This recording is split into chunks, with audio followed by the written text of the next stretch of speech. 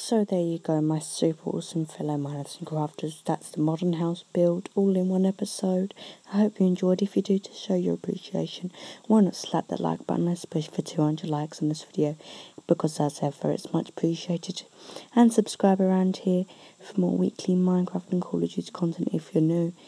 And you can check out my Twitter to get more of the daily glitcher or only one glitcher if you prefer. Thanks so much for watching guys. Peace and I'm out. I'll catch you later in the next video. Bye guys.